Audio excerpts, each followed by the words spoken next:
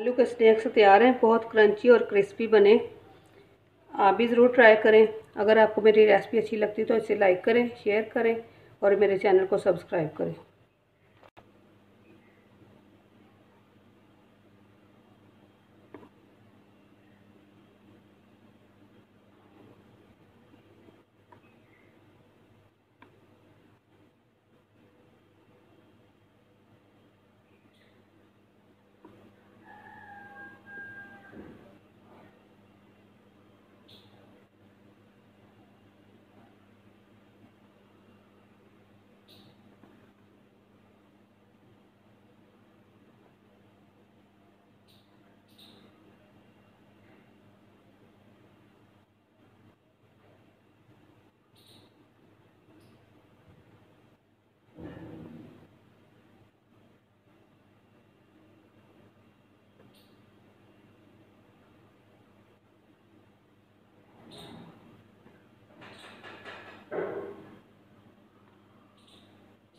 बिसमीम अस्सलाम वालेकुम आज मैं बनाने लगी हूँ आलू के स्नैक्स।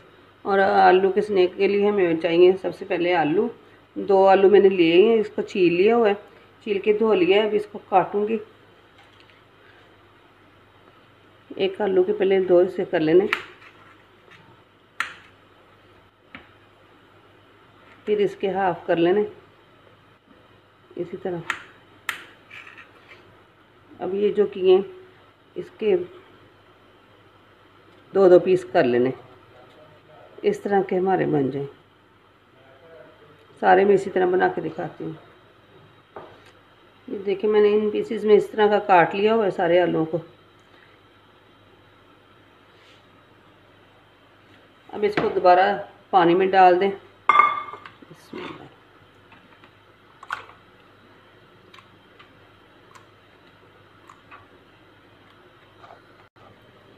इन आलूओं को मैंने पानी में डाल लिया हुआ है। अब एक पतीली में पानी रख देना उबलने के लिए। पानी उबल रहा है, इसमें एक चम्मच नमक डाल देनी।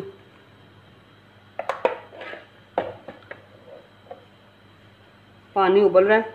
अब ये जो आलू है, ये इसमें पाँच मिनट तक उबाल लेने।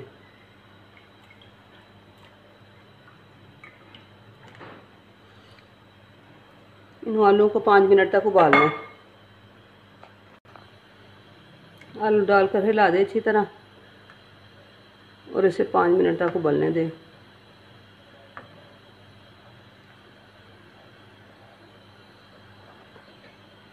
हाई फ्लेम पे उबलते रहना है आलू को। अब ये उबल चुके हैं। आलू उबल चुके हैं, फ्लेम ऑफ़ कर देनी है। और इन आलू को निकाल लेना है। और एक बाउल में ठंडा पानी, फ्रिज का पानी ले लेना है। ठंडा और उसमें डाल देना।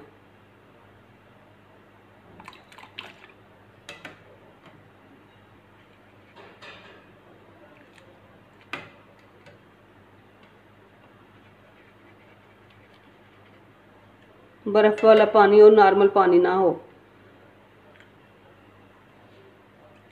अब इनमें ठंडे कर लेने आलू और कपड़े पे फैला देने।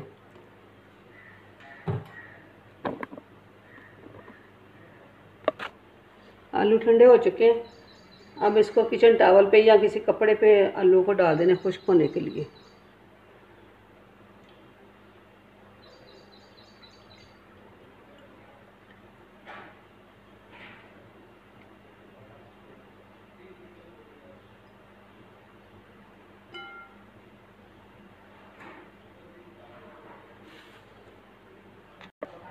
अब इनको बिल्कुल खुश्क कर लेना है टिशू टिशू से। एक कतरा भी पानी का ना रहे इसमें हल्के हल्के हाथों से ड्राई कर लें। ये सारे आलू ड्राई हो चुके हैं। अब इसको एक बाउल में डाल लें।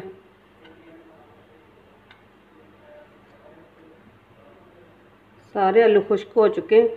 अब इसको क्रिस्पी बनाने के लिए और चटपटा बनाने के लिए इसकी कोटिंग तैयार करते हैं।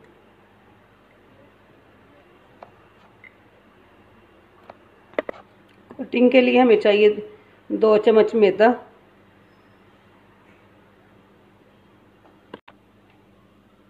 एक चम्मच ब्रेड क्रम्स एक चौथाई चम्मच लहसुन पाउडर।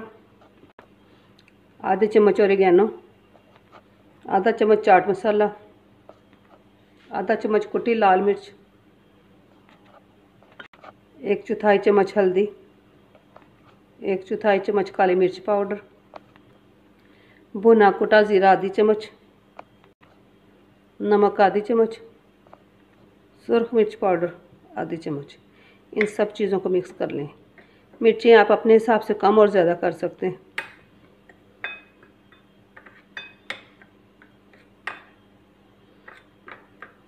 ये तो आलू के स्नैक्स के लगाने के लिए कोटिंग ऊपर के लिए तैयार हो गई। अब नीचे लगाने के लिए कोटिंग जो तैयार करनी है वो मैं बनाती हूँ। कोटिंग तैयार है। अब स्लरी बनाने के लिए दो चम्मच मैदे चाहिए। दो चम्मच मैदा ले लियो और थोड़ा थोड़ा करके पानी डालना है।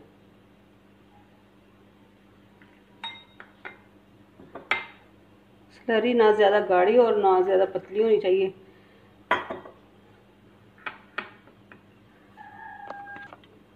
देखिए इस तरह की होनी चाहिए स्लरी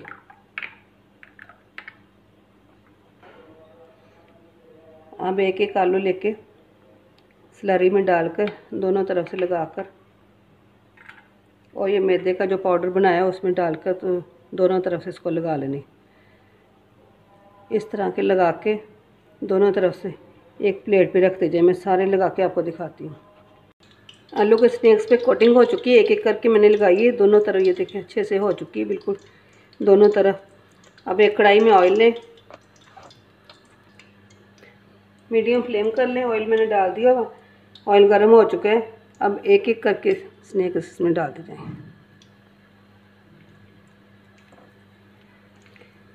फ्लेम आपने मीडियम ही रखनी है, इसको हाई नहीं करना।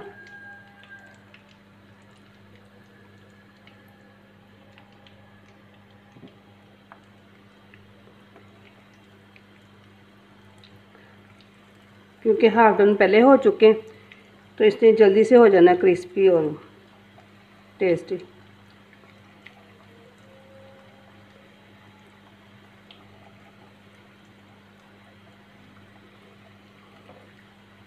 अब इनको फ़ौरन नहीं हिलाना, क्योंकि सारी कोटिंग उतर ना जाए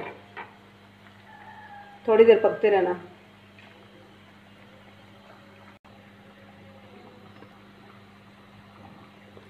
एक से डेढ़ मिनट हो चुका है। अब इसकी साइड चेंज कर लें।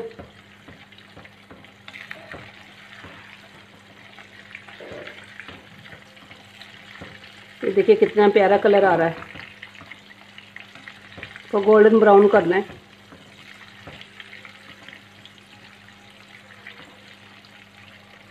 स्नैक्स को आप इफ्तारी के टाइम खा सकते हैं, बच्चों को टिफ़िन में दे सकते हैं और नाश्ते में भी बच्चों को दे सकते हैं।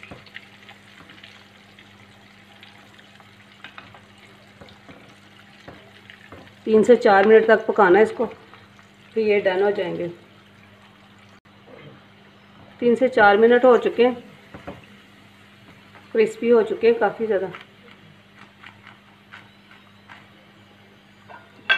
अब इसको एक डिश में निकाल लेना है।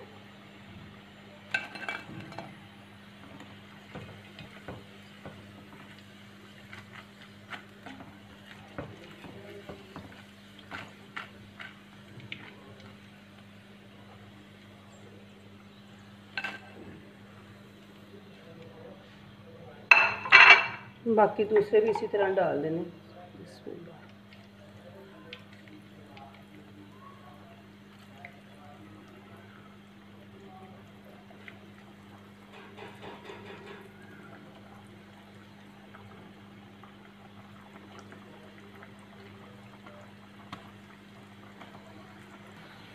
ये भी फ्राई हो चुके हैं। इसको भी निकाल लो।